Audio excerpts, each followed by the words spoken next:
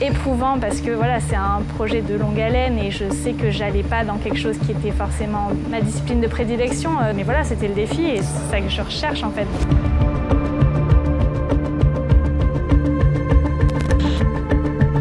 She'll have to move quite quickly here, Fanny's got four seconds left. C'est trop dur. It's happened. It's happened. Fantastic.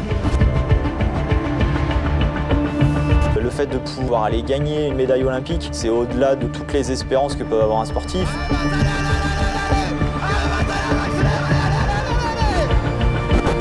Oh voilà Oh et ben alors là par contre, mesdames et messieurs, Fanny Gibert en démonstration la réunionnaise.